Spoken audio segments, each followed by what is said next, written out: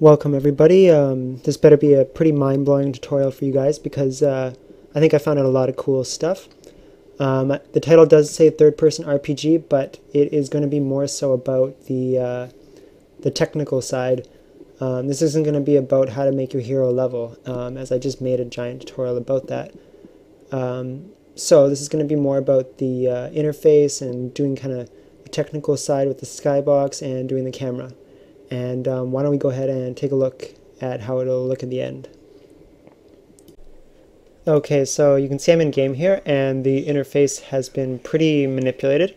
Um, it is still, still all Blizzard elements though, um, and this is because as of patch 1.2 we can actually move around their, their own things. We don't have to use dialogues for a custom inventory, I mean custom uh, UI. Um, so when I click on him you can see I got my little wireframe up here, my attack and stuff down here, all my abilities are kind of spread out on the bottom now, and the mini-map's up here. Um, as far as the controls go, it's just just sort of like regular StarCraft 2 where you select a thing and then you select where you want to go. Um, and the camera just rotates automatically. So that's what I've that's what I'm going to show for this tutorial, and that's what we're going to make.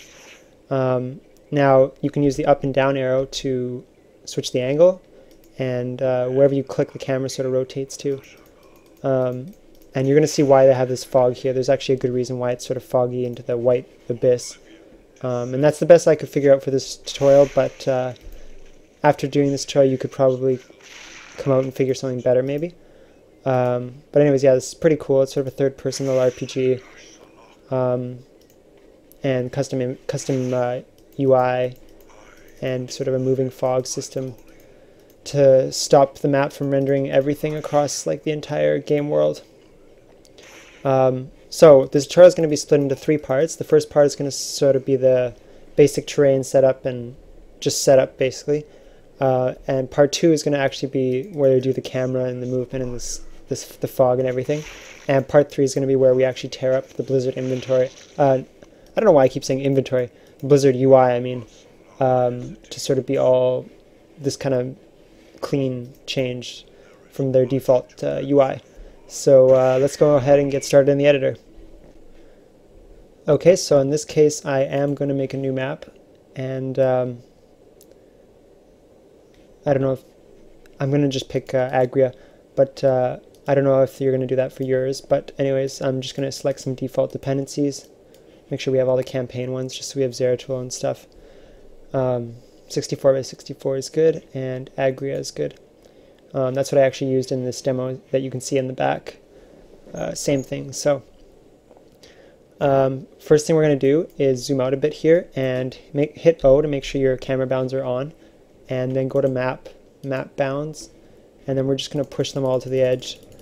Um, because when you do make a third person map you want to have as much space as you can um, and I made a relatively small map here, but I'm guessing most third-person maps would be 256 by 256.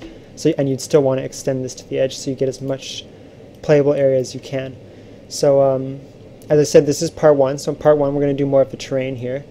Um, if that's not important to you, then you can switch to part two. Um, but I also will, at the end of this part, is I will position the first camera position. So you might want to watch the end, the end part of this part one for that. Um, Okay, so um, when you think back to World of Warcraft or things, they don't actually use cliffs like we would here in the terrain editor if you're on layer terrain. Um, in StarCraft 2, you paint your terrain like this, and that's how you do your walls.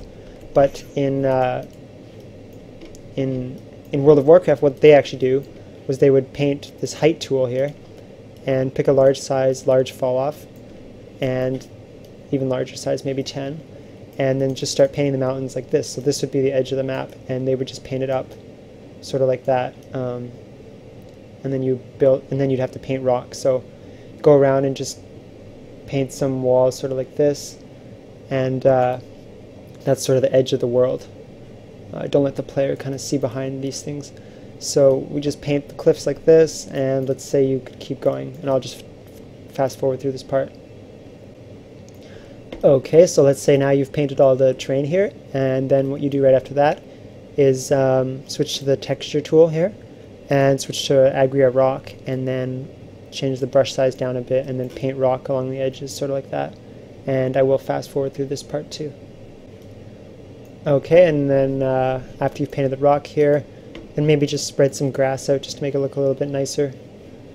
Um, that's not really the whole point of this tutorial, but it's still nice to have uh, good quality uh, terrain to work with. And I'm going to paint some height just to kind of vary up the terrain a bit because when you're uh, when you're when you're down low like this, it looks starts to look really flat, different than regular RTS sort of view. So you definitely have to paint some sort of variation on the terrain. It can't just be perfectly flat like you find in most maps. Um, and that's a bit better now. And now after we've done this, hit H to switch to the pathing tool. And we're going to paint pathing, no pathing, uh, size maybe 3. And we're just going to paint it around the edge here so that uh, they can't walk off the edge of the map or walk up to it too far. Just paint it along the rocks sort of so it's natural where it would block because otherwise they could walk on these hills which wouldn't be too good.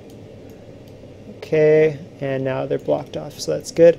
And you'd actually want to paint uh, this whole area behind so they couldn't blink to it or anything but um, I'll leave that to you to do that in yours. Uh, anyways, actually well maybe I should just quickly do a swipe through here because this will be downloadable. Alright, anyways, so we got that. And now we're going to place some trees. So hit D to go to Doodad. And um, we're actually going to do some stuff with the trees too to make it more uh, realistic when you're down in third person view. Um, so search for uh, tree here. There's too many doodads, it's taking a while. Uh, okay, Agria tree. So I'm going to place a few of them, kind of spread them out.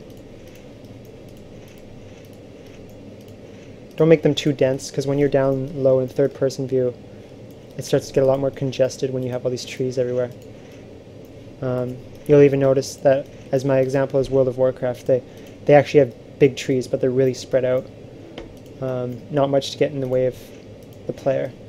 Um, okay, so we have a bunch of trees in this very strange looking forest from, from the overhead view, but um, now what we're going to do is switch to the data editor, and we're going to scale the trees up. So if you go to the Actors tab, and all doodads that you place in the editor are just actors, um, and search for tree, because actors are just the visual models that are in the game.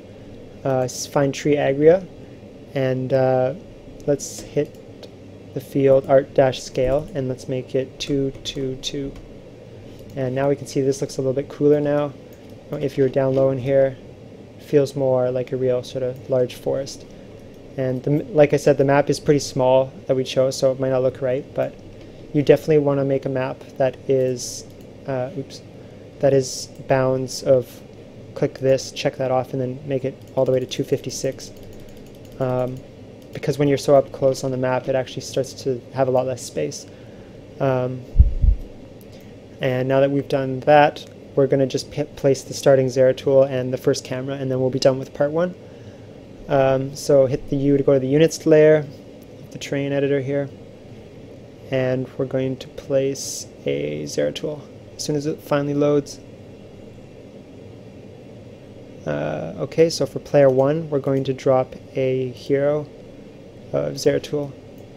And I'm going to place him right here in the center, and then double click him and make sure he's facing 90 on his rotation.